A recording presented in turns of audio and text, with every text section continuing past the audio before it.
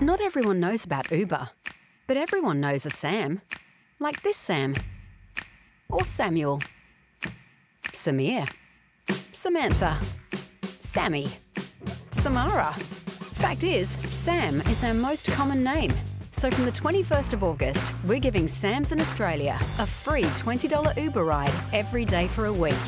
Register by the 18th of August at uber.com slash asksam.